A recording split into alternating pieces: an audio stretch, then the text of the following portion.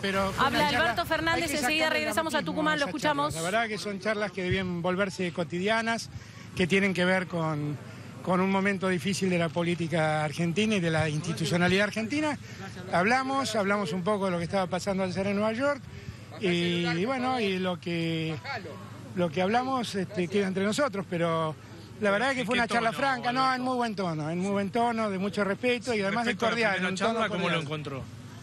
No, la primera charla también fue una charla cordial y respetuosa. No, no, sería injusto si dijera otra cosa. Alberto, ¿qué le pareció hoy eh, al asumir la CUNCE y luego dar la conferencia de prensa? Habló que era más importante que el rol del gobierno, el rol de la oposición. No, no me parece justo eso. Puedo entenderlo, pero no me parece justo. La verdad es que el que conduce, el que firma y el que decide es el gobierno. Nosotros podemos estar de acuerdo o no, pero es el gobierno el que tiene que hacer, es el gobierno el que tiene que desarmar el problema que armó. El nuevo ministro dijo que eh, va a buscar un dólar de equilibrio que sería por debajo de lo que está cotizando hoy. ¿Usted cree Bueno, lo mismo? bueno, bienvenido sea, bienvenido sea. Lo único que hay que cuidar es que el, el- el valor de la divisa tenga, tenga un valor real para que los exportadores ¿Cuál exporten. sería? No, no importa, no volvamos a eso. Porque la verdad es que también no escapa a mí que el valor de la divisa influye sobre, sobre la inflación y por lo tanto este, ¿Debería estar entiendo. un poco más abajo? No, dijimos lo que, miren, si el ministro acaba de llegar, dijimos lo que actúe. No, nos vamos a meter nosotros y pobre, la verdad acaba de llegar. ¿Va a haber reunión con los referentes de economía? ¿Se va Eso me lo a- propuso ayer el presidente y le dije que me parecía bien si invitaba a todos los que somos candidatos y no solamente Van, a nosotros. Y está todos. muy bien, y bueno, y nosotros iremos también. ¿Quién iría? Y algunos del equipo, no sé, Matías está de, de luna de miel, irá Cecilia, tal vez vaya este, Nielsen, no sé, veremos, tal vez Emanuel, no sé. Ahora me voy a juntar con ellos porque la verdad es que me estoy enterando de eso por Alberto, ¿le ustedes. parece que por momentos le estarían proponiendo como un cogobierno?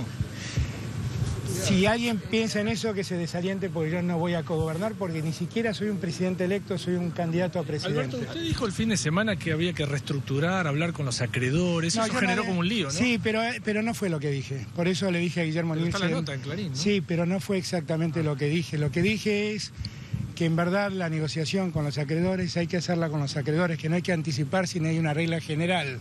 Eso fue lo que dije. Precisamente- Para, para que todo el mundo entienda y para que terminemos con esta historia. Los que sacaron en la Argentina del default fuimos nosotros.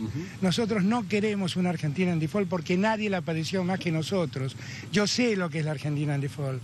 Así que olvídense, no, no tengo la más mínima intención de que la Argentina caiga en ese estado. Lo que pido es responsabilidad también del gobierno para que la Argentina no caiga ¿No en cree ese que habrá que estado. refinanciar, digamos? eh, Bueno, no sé, pagos? veremos, cuando llegue el momento veremos cómo, cómo llevamos adelante esa tarea.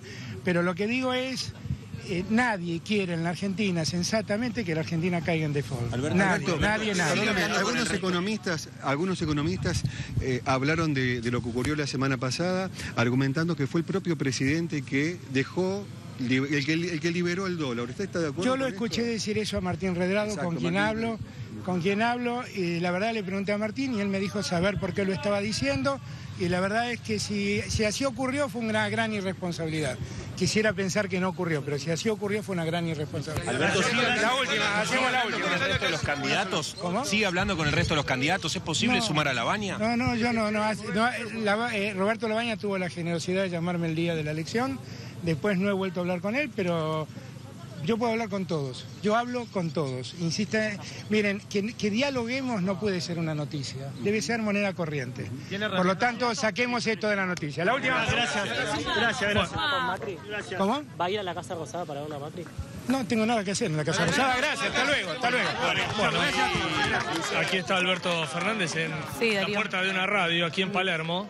Eh, vino a dar un reportaje y aquí hablaba con nosotros. Fíjate que se ha juntado este grupo de, gente, de, vecinos acá de Palermo y, gente que trabaja por acá, que hace un rato lo está esperando eh, para sacarse fotos con el candidato eh, que, ha, como escucharon ustedes, ¿no? ha respondido todas las preguntas. ¿Qué fue lo que dijo cuando le preguntaron de casa de gobierno, Darío, que no llegué a escuchar? ¿Si iba a ir a casa de gobierno? No, le preguntaron si iba, si iba a reunirse con Macri. Dijo que él no tenía nada que hacer en la casa de gobierno. Ah, esa fue la respuesta. Gracias, Darío. Ahí está, el Hasta luego. trabajo de Darío Lopreite.